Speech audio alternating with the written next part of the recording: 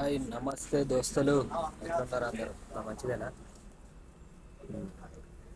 So ఇప్పుడు నేను అర్మేనియాది salaries గురించి టీఆర్సీ గురించి ఆ, షెంజన్ గురించి వీడుకోవచ్చు అని చెప్పేసి దా- నాకు తెలిసినంత మందం నేత నేను చెప్తున్నా. తర్వాత ఎవరు వేసుకోకూడదు తెలిస్తే కమెంట్ చేయండి ఓకేనా? ఫస్ట్ అయితే ఒక లైక్ చేయండి సబ్స్క్రైబ్ చేయని వాళ్ళు ఉంటే సబ్స్క్రైబ్ చేయండి ప్లీజ్ చూస్తారు వెళ్ళిపోతారు కానీ ఇలా కొడతలేరు. ఫస్ట్ శాలరీస్ గురించి మాట్లాడతాం శాలరీస్ ఏంటంటే నార్మల్గా జనరల్ వర్కర్స్కి అంటే ఏం ఎక్స్పీరియన్స్ లేని వర్కర్స్కి నాట్ జనరల్ వర్కర్స్ అంటే హోటల్ క్లీనింగ్ డిష్ వాషింగ్ అయినా కంపెనీలలో హెల్పర్లు ప్యాకింగ్ వర్క్స్ జ్యూస్ ఫ్యాక్టరీలు అవి ఇవి ఒకటి ఉంటాయి కంపెనీస్ ఉంటాయి. సో దాంట్లో ఏంటంటే స్టార్టింగ్ కొంతమంది ఎంప్లాయర్స్ ఎట్లా అంటే ఫుడ్ ఇచ్చి బెడ్ ఇచ్చి ఆరు వేల డ్రామ్స్ ఇస్తారు. ఆరు వేల డ్రామ్స్ అంటే అయ్యి అన్నారు. మనకు ఇరవై ఆరు రో- ఇరవై ఆరు రోజులు లెక్క ఉంటుంది అన్నట్టు. ఇరవై ఆరు రోజులకి ముప్పై రెండు నుంచి ముప్పై మూడు వేల దాకా శాలరీ వస్తుంది. ఫుడ్ రూమ్ ఇచ్చిండంటే. కొంతమంది ఎంప్లాయర్లు ఏం చేస్తారంటే అయితే రూమ్ ఇస్తారు లేకపోతే అయితే ఫుడ్ ఇస్తారు. ఒకవేళ ఫుడ్ ఒకవేళ ఫుడ్ ఇచ్చినా రూమ్ ఇచ్చినా కూడా నీకు ఏం లేదా కమ్సే కమ్ ఏడు వేల డ్రామ్స్ అంటే రోజు లెక్క ఏడు వేల డ్రామ్స్ ఎనిమిది గంటల డ్యూటీ ఏడు వేల డ్రామ్స్ అంటే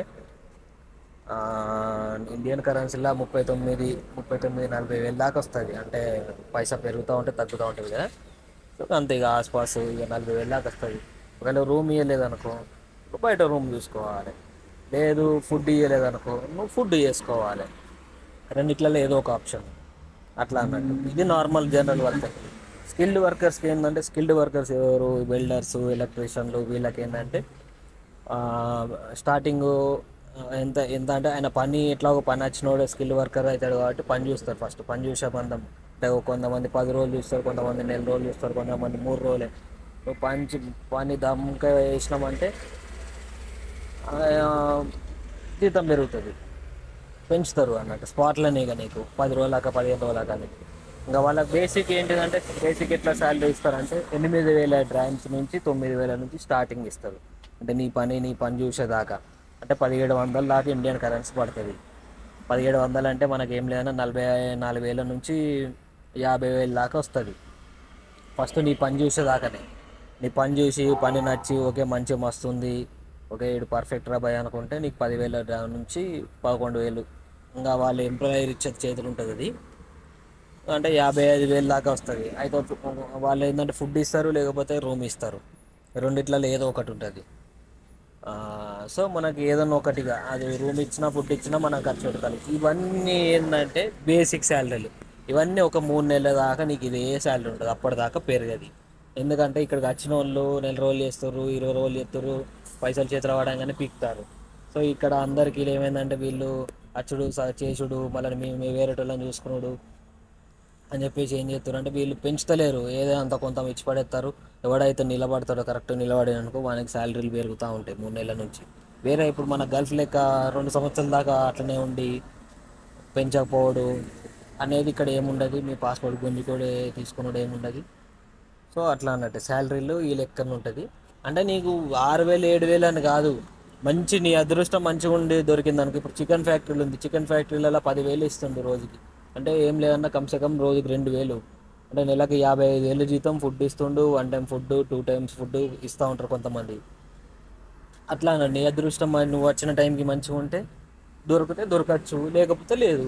కానీ వచ్చినందుకన్నా చేసుకోవాలి. మనం ఎట్లాగో వచ్చేవాళ్ళు నాకు తెలిసి పైసలు పైసలు బాగా పెట్టేస్తారు. ఇంకా అది తీసుకొచ్చిన వాళ్ళ చేతులు ఉంటుంది అది మనం ఏం చేయలేం దానికి. తక్కువలో కూడా రావచ్చు. అంటే ఇక తక్కువలో రావచ్చు అంటే ఇక ఇటు వేసి గంతే గాడి గాడికి అయితే పైసలు కానీ. సో గట్లా అన్నట్టు.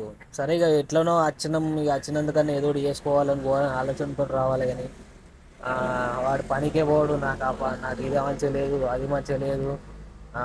అయ్యో ఇక నువ్వు రోజు ముప్పై రోజులు పని చేసినట్టు మాట్లాడతారు ఇక. ఒకడు ఒక దగ్గర ఉన్నప్పుడు ఒక దాని గురించి వచ్చినప్పుడు తట్టుకోవాలి. సరే ఎంతో అంత ఉన్న కాడికైతే చేసుకొని పోదాం రాబోయ్ అని చెప్పేసి ఆలోచించే లేరు రాగానే పది రోజులకే పీకుతారు. అట్లా అన్నట్టు. ఇక రూ డెలివరీ బాయ్స్ డెలివరీ బాయ్స్ ఏంటంటే ఇది ఎట్లా అంటే చేసుకున్నంత పని ఉంటుంది.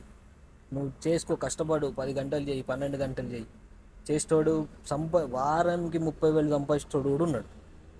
అర్థమైందా? వారానికి ముప్పై వేలు సంపాదించేటోడు ఉన్నాడు. వారానికి ఐదు వేలు సంపాదించినోడు ఉన్నాడు. ఆ ముప్పై వేలు సంపాదించినోడు ఎట్లా పనికి పోవాలి? పన్నెండు గంటలు పదమూడు గంటలు పని చేసుకుంటున్నాడు. కష్టపడుతుండు కాబట్టి ముప్పై వేలు వస్తాయి ఈడు రెండు రోజులు పోతాడు మూడు రోజులు అంటాడు మూడు రోజులు పోతాడు రెండు రోజులు అంటాడు పైసలు ఎడికెళ్తే రావు నెగిటివ్ చేసి పడేసినట్టు కదా. ఇప్పుడు ఒక్కడు ఒక్కడి నుంచి పది మందికి చెప్తాడు. కానీ మరి పని చేసేటోని గురించి ఎందుకు చెప్పాడు? మరి ఆడు వారం రోజులు ముప్పై వేలు వేలు సంపాదిస్తాడు. ఒక్కొక్కరు ఎనభై తొంభై లక్ష సంపాదించిన వాళ్ళు కూడా ఉన్నారు. నా దగ్గర ఉన్నాయి ప్రూఫ్ నేను చూపిస్తా కావాలంటే. లక్ష సంపాదించిన వాళ్ళు కూడా ఉన్నారు. ఎందుకు పని కష్టం చే కష్టం చేసుకొని వచ్చింది కష్టం చేసుకుంటాడు. అట్లా పని శాతం వాళ్ళు ఉన్నారు.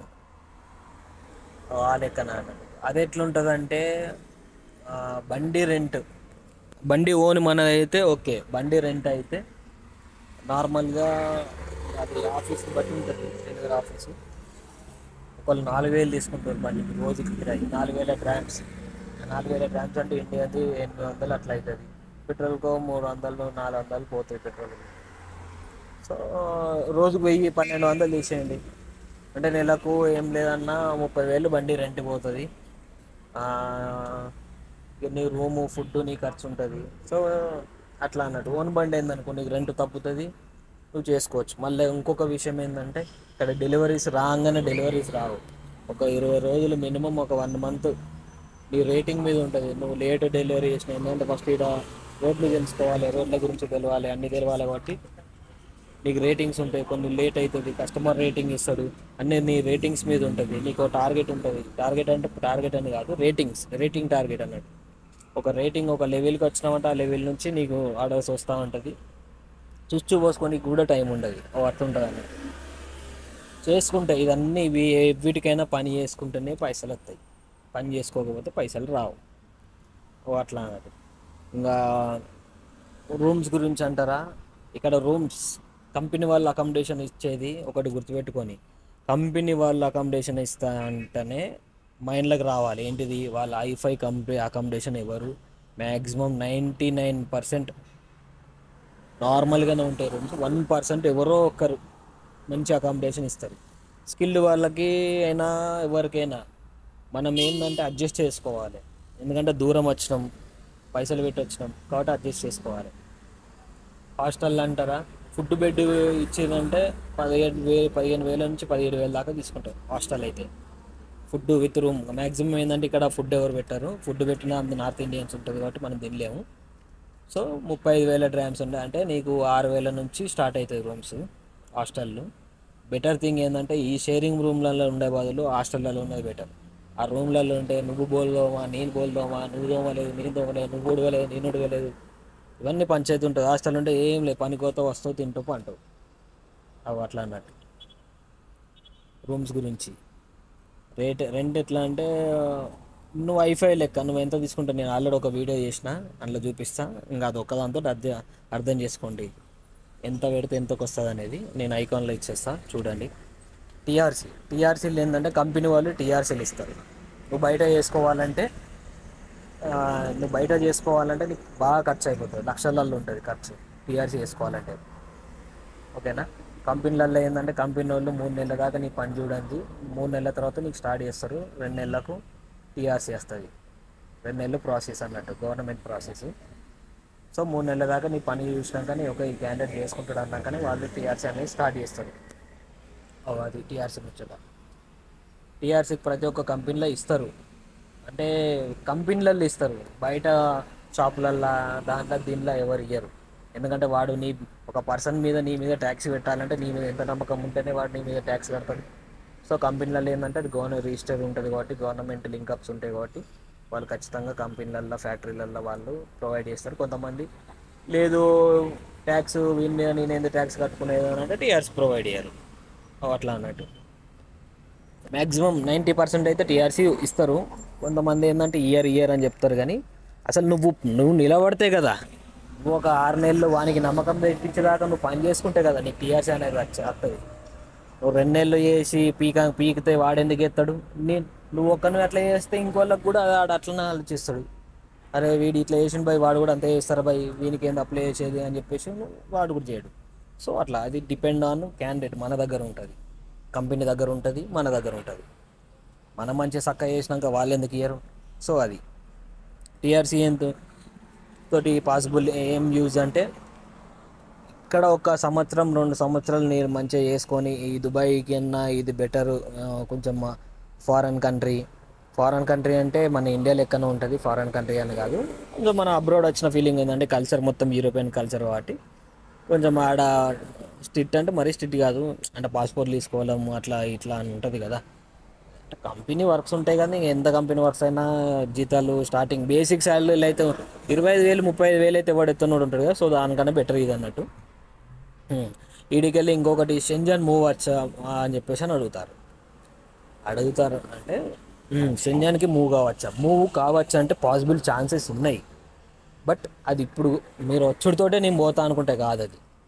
ఎందుకంటే ఒక కంపెనీ వాడు నీకు పేపర్లు ఇస్తుండు నీకు ఒక కంపెనీ వాడు నీకు డాక్యుమెంటేషన్ చేస్తుండు అని అంటే నువ్వు ఆయన దగ్గర ఎన్ని రోజులు పని చేయాలి? మినిమం సంవత్సరం సంవత్సరం తర్వాతనే ఏదైనా కూడా నువ్వు ట్రయల్స్ చేసుకోవాలి. లేదు అంటే ఒక కంపెనీ నుంచి నువ్వు మంచిగా వానికి మంచి ఎంప్లాయర్ అనిపిస్తే వానికి ఏదన్నా వేరే కంపెనీలు వేరే షెంజాన్లోనో యూరోప్లోనో ఎక్కడనో ఒక్కొక్కడ బ్రాంచ్లు ఉన్నా నిన్ను ట్రాన్స్ఫర్ పెట్టడమో ఏదో ఒకటి చేసే వాళ్ళు ఉంటారు. చేసుకొని వెళ్ళిపోవచ్చు. నువ్వు ఒకవేళ నువ్వు ఓన్గా చేసుకుంటా అంటే నువ్వు బ్యాంక్ ట్రాన్సాక్షన్ చూపించాలి స్టేట్మెంట్ చూపించాలి ట్యాక్స్లు కట్టాలి అవన్నీ నువ్వు సబ్మిట్ చేయాలి ఒక విజిట్కి వేసుకోవాలంటే ఇంత ప్రాసెస్ ఉంటుంది. సో అచ్చుడితోటే నేను పోతా ఐడికి వెళ్ళిపోతా అంటే మాత్రం కాదు. టైం పడుతుంది. సో అట్లా అన్నట్టు. ఇంకొకటి ఏంటంటే డెలివరీలల్లో టీఆర్సీలు రావు అని అంటారు. అంటే డెలివరీలలో టీఆర్సీలు మ్యాక్సిమం ఎవరు ఇయ్యరు. టీఆర్సీలు అంటే డాక్యుమెంట్స్ కనీసం డాక్యుమెంట్స్ అన్నీ కూడా ప్రొవైడ్ చేయరు. కానీ మనకు నాకు తెలిసిన వాళ్ళ నాకు తెలిసిన కాడ అయితే డాక్యుమెంట్స్ ప్రొవైడ్ చేస్తారు. అది after five months. Five months నువ్వు ఒక దగ్గర మంచి దగ్గర పని చేస్తే తప్ప నీకు డాక్యుమెంట్స్ ఇయ్యాడు. అట్లా. అందరు ఇయ్యరు. ఇంకెవరి పతారా వాళ్ళ దగ్గర ఉంటుంది. సో నాకు తెలిసిన వాళ్ళ దగ్గర నాకు ఇస్తారు కాబట్టి వేరే వాళ్ళ గురించి నాకు తెలియదు అంటే వాళ్ళకి ఐడియా లేదు కావచ్చు వాళ్ళకి ఇయ్యరని. అట్లా. అది అన్నట్టు. కానీ కొంతమంది ఏమైంది ఏంటంటే ఈ వాళ్ళు ఏంటంటే ఇంత శాలరీస్ వస్తాయి అంత శాలరీలు వస్తాయి అని చెప్పేసి మాత్రం చెప్పక చెప్పకండి. ఫస్ట్ మీరు అది ఎంత వస్తుంది ఎంత మిగులుతుంది అని చెప్పేసానండి ఇప్పుడు యాభై అరవై వేలు జీతం అని అంటే ఖర్చులు పోంది ఎంత మిగులుతాయి అని చెప్పేసి అని అడగండి. అప్పుడు మీకు తెలుస్తుంది ఎంత మిగులుతుంది ఏందనేది. అన్నిట్లల్లా బేసిక్ శాలరీలు అయితే బేసిక్ శాలరీలు చెప్తున్నా నేను. వాళ్ళు చెప్పిన దానిలో ఏం లేదు వాళ్ళు మిగలకుండా చెప్తున్నారు అంతే తప్ప ఏం లేదు. బేసిక్ శాలరీలు చెప్తున్నా ఇట్లుంటుందని. సో ఒకటి ఎవరు రావచ్చు ఇక్కడికి? ఎవరు రావచ్చు అని అంటే పని చేసుకుంటా అనుకున్న వాళ్ళు మాత్రం రావచ్చు. లక్షలు లక్షలు ఊహించుకొని మాత్రం రాకండి. స్టార్టింగే. నీకు బేసిక్గా చెప్పిన బేసిక్ శాలరీ ఎంత అనేది. సో వాళ్ళు రావాలి రావచ్చు. అంటే దుబాయ్ కన్నా నేను ఆడ పదిహేను వేలు సంపాదిస్తున్నా ఇక్కడ ఎక్కువ సంపాదిస్తున్నా అనుకుంటే రావచ్చు. కొన్ని ఛార్జెస్ ఇంకా అక్కడ నువ్వు తక్కువ పెడతావు ఇక్కడ ఎక్కువ పెడతావు. అట్లా అని చెప్పేసి మీరు మరీ లక్షలు లక్షలు తీసుకునేటోళ్ళు కూడా ఉన్నారు. చూసుకొని పోండి. ఓకేనా? అట్లా. ఇక్కడ ఏంటంటే మొత్తం చైన్ సిస్టమ్ ఉంటుంది. ఒక ఒక్కరే కాదు. ఇప్పుడు ఇండియాలో ఒకరు ఉంటారు తీసుకురావడానికి ఎయిర్పోర్ట్లో ఒకరు ఉంటారు పెట్టించేటోళ్ళు పట్టుకపోయేటోళ్ళు ఒకరు ఉంటారు మాట్లాడేటోళ్ళు ఒకరు ఉంటారు జాబ్లో ఎక్కించేటోళ్ళు ఒకరు ఉంటారు. సో ఇంత పెద్ద చైన్ సిస్టమ్ ఉంటుంది కాబట్టి రాగానే మనం జాబ్ ఎక్కడం అంటే కొంచెం టైం పడుతుంది. ఫస్ట్ ఇక్కడ ఏంటంటే విజిట్ టు ఎంప్లాయీ అవుతుందా అని అంటే అవుతుంది విజిట్ టు ఎంప్లాయీ మీకు ఇక్కడ ఒక సోషల్ కార్డ్ అనేది ఉంటుంది. అది చేయించుకుంటారు. చేయించుకొని మీకు జాబ్లో పెట్టించేస్తారు దాంతో ఏం యూజ్ అంటే ఇన్ కేస్ ఎవరన్నా పట్టుకున్నా చేసినా మ్యాక్సిమం ఎవరు పట్టుకోరు. ఎవరైనా పట్టినా చేసినా కూడా సో నువ్వు ఒక పర్సన్ వీడు ఎలిజిబుల్ నువ్వు పని చేసుకోనికి వచ్చినావు అని చెప్పేసి నీకు ఒక ఐడెంటిటీ అది. అట్లా ఓకేనా ఉంటా మరి చలో. Bye please subscribe and share.